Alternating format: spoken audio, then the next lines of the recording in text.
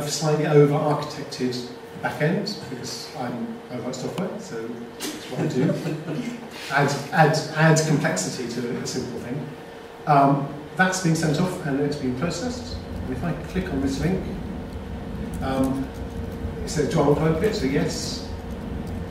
This is now that model in a web page. There's a little WebGL preview. And oh, because my screen, so you can see it. Um, if I click download, that STL file.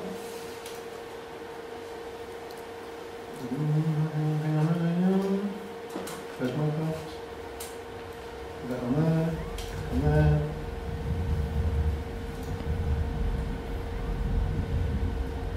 And that's uh, the software print driver for a MakerBot 3D printer. So the idea is to have that journey between a child making something in Minecraft, which they're very familiar with, to being able to take that model and print it out if they have access to a 3D printer as, kind of slight as possible. So I've chosen uh, not to have logins to the service at the moment. It's a, just a kind of uh, as thin a layer as possible between the delivery of the model to the child and the game. Um, there's the kind of vain hope that it will make uh, at least enough money to become sustainable. Um, I'm working with partners, Materialise and MakerBot, and I'm going with Shapeways as well, and try and make some money off uh, commercial printing of 3D colour models. So if the kid wants to have a lovely 3D colour model, um, I'm negotiating these uh, viewer services to set up a system where um, I take probably somewhere between 10 and 20% of the print costs and use that to fund and keep the thing going. Um, so that's it. That's kind of what's what's in place at the moment. Um, sort of talk a bit about where the project came from.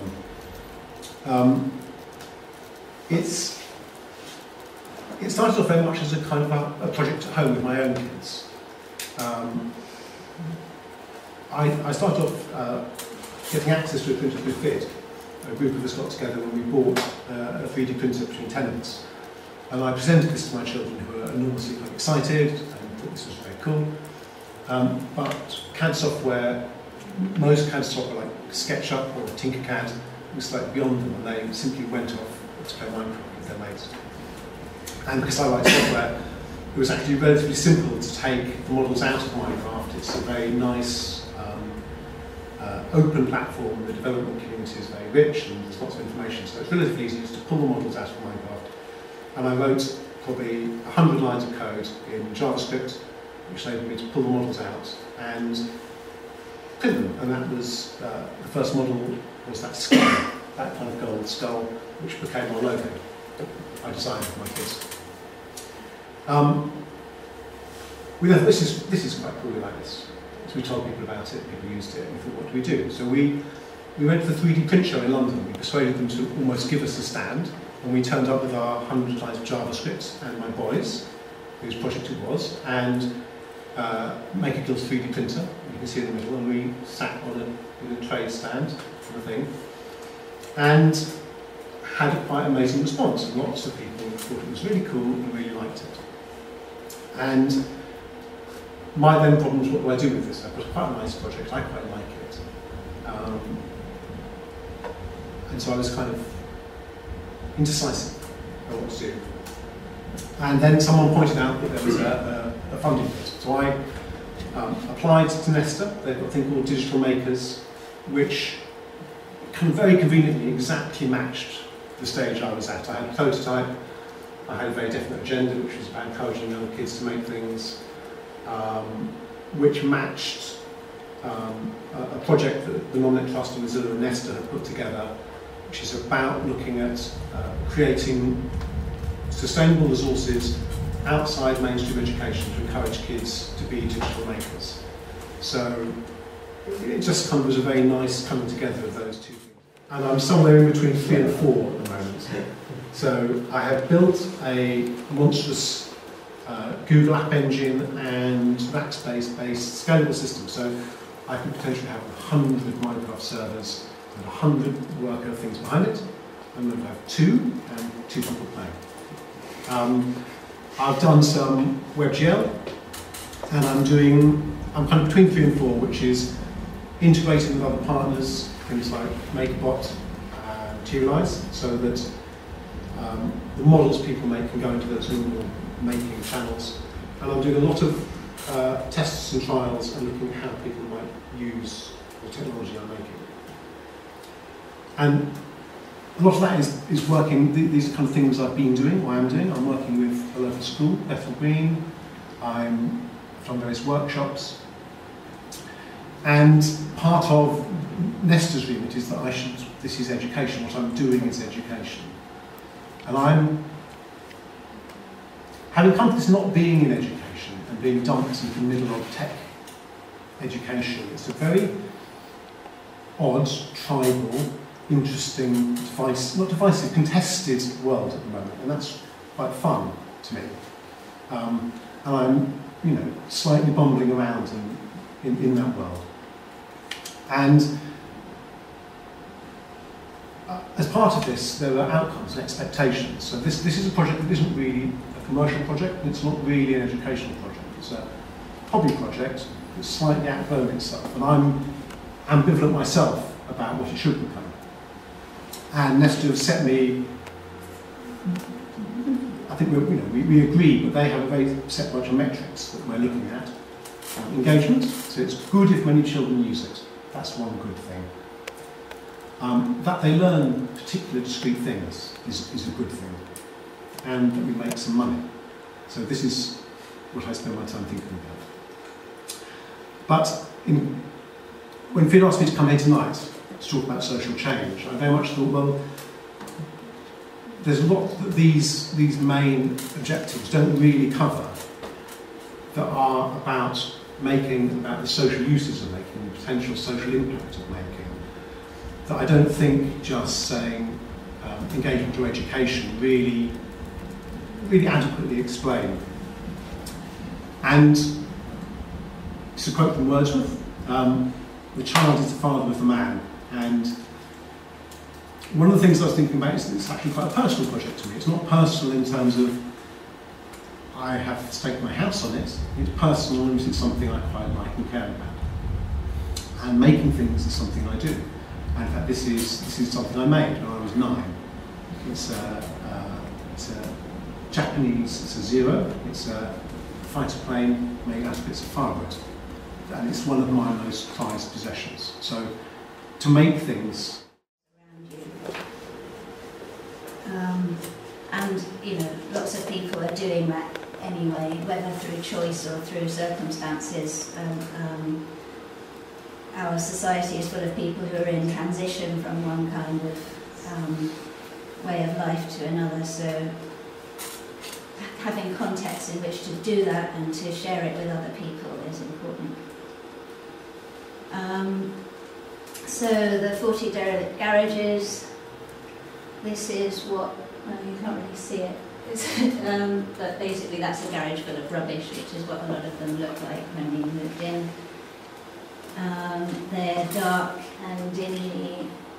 Um, they're semi-underground. They're at sort of lower ground floor level, so they do have some natural light coming in. Um, but the entrance doesn't look very inviting as it stands. Um, they're in Loughborough Junction, which is between Brixton and Camberwell, and it's generally a kind of between area that over the years has not um, had, had much of its own sort of positive identity as a place. Um, it's, it's a place with a lot of junctions, a lot of railways crisscrossing each other. Um, and that's just a map of where the garages are. Um, it's, it's an area that's been known for crime to quite an extent but it also has a lot of um, community initiatives and creative uh, organisations of various sorts. There's a, there's a thing called the Whirled Cinema, which is a sort of cinema club that shows different types of films. There's uh, Camberwell University just down the road.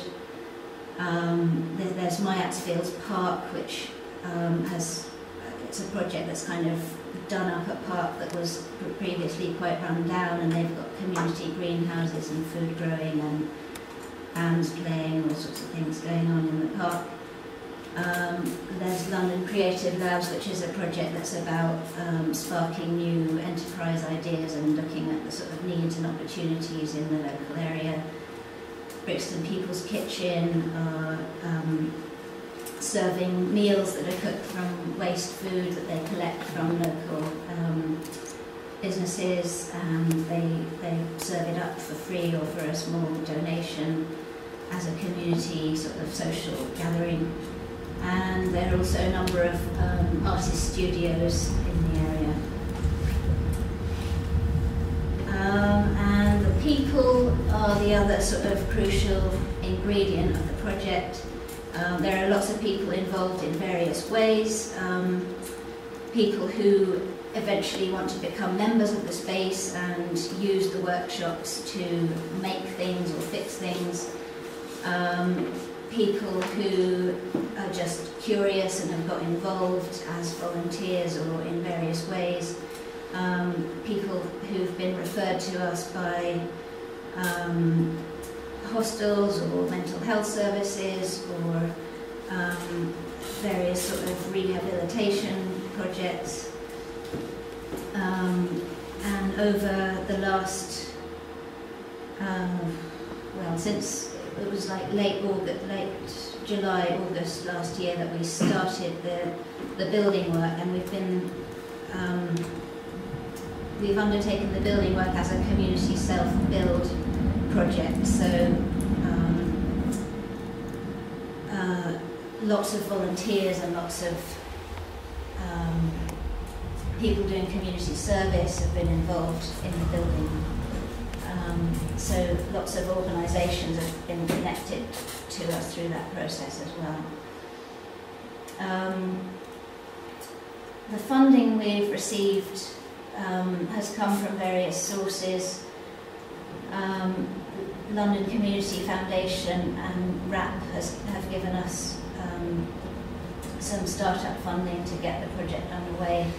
We've also had um,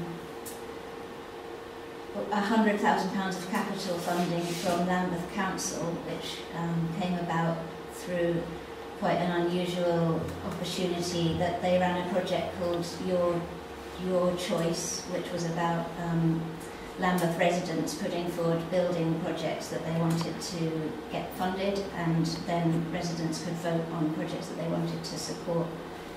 Um, and we, we won that vote. We got about well, we got over 3,000 votes, which was 100 votes a day for a month of, of voting. And um, we have been awarded £100,000 of funding, which has been one of the most important catalysts to enabling the building work to happen.